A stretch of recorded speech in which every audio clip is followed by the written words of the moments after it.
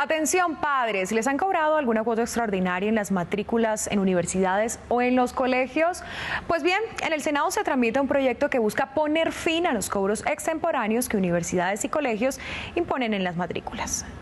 Desde el Senado, una iniciativa busca eliminar las matrículas extemporáneas que cobran las instituciones educativas y fijar un plazo mínimo de 15 días para efectuar dicho pago. Para el senador autor de la iniciativa, estos cobros extemporáneos no están cobijados por la ley.